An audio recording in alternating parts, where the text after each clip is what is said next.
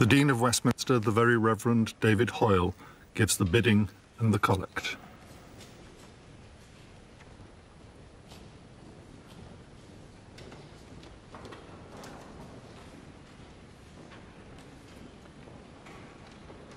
In grief and also in, in profound thanksgiving, we come to this house of God, to a place of prayer, to a church where remembrance and hope are sacred duties. Here, where Queen Elizabeth was married and crowned, we gather from across the nation, from the Commonwealth, and from the nations of the world to mourn our loss, to remember her long life of selfless service, and ensure confidence to commit her to the mercy of God, our Maker and Redeemer. With gratitude, we remember her unswerving commitment to a high calling over so many years as Queen and head of the Commonwealth. With admiration, we recall her lifelong sense of duty and dedication to her people. With thanksgiving, we praise God for her constant example of Christian faith and devotion. With affection, we recall her love for her family and her commitment to the causes she held dear. Now, in silence, let us in our hearts and minds recall our many reasons for thanksgiving.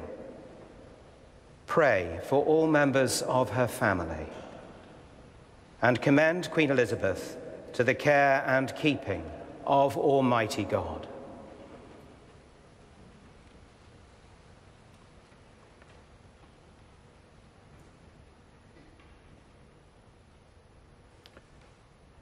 O merciful God, the Father of our Lord Jesus Christ, who is the resurrection and the life, in whom whosoever believeth shall live, though he die, and whosoever liveth and believeth in him shall not die eternally.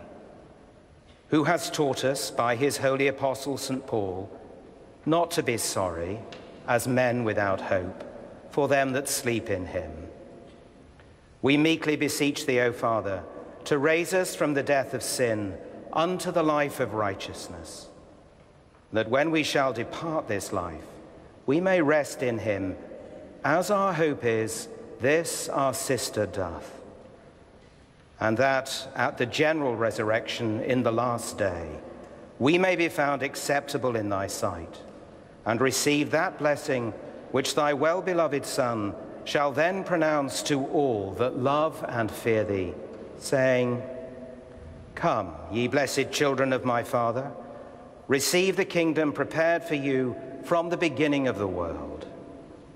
Grant this, we beseech thee, O merciful Father, through Jesus Christ, our mediator and redeemer. Amen.